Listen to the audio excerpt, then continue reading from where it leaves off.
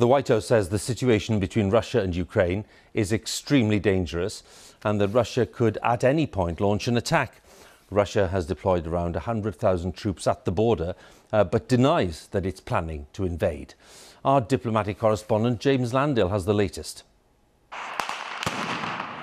Russian forces training near the border with Ukraine.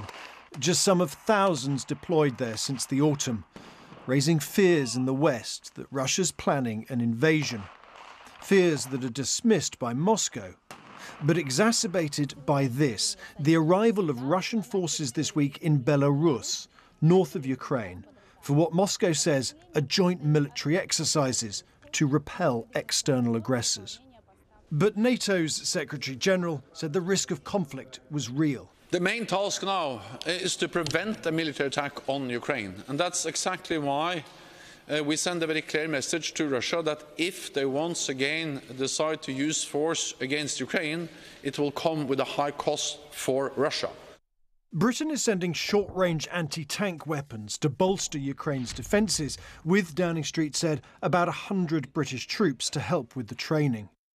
Russia's estimated to have about 100,000 troops on the border with Ukraine, most to the north and the east, with fears they could try to link up with Crimea that Russia annexed in 2014. But with Russian troops now in Belarus, there are fears they could also target the capital, Kiev, from the north. But what's the West prepared to do to deter Russia? Would it abandon this new gas pipeline from Russia to Germany that could leave energy prices soaring across Europe?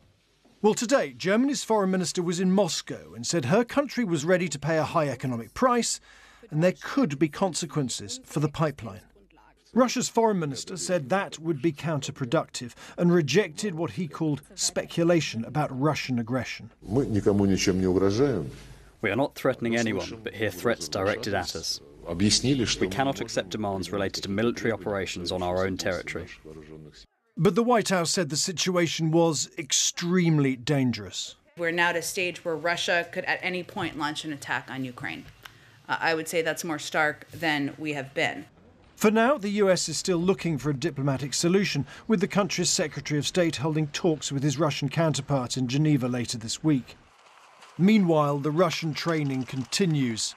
Today, Ukraine's defence minister told the BBC any conflict would be a disaster for Europe, with a lot of refugees and a lot of blood. James Landale, BBC News.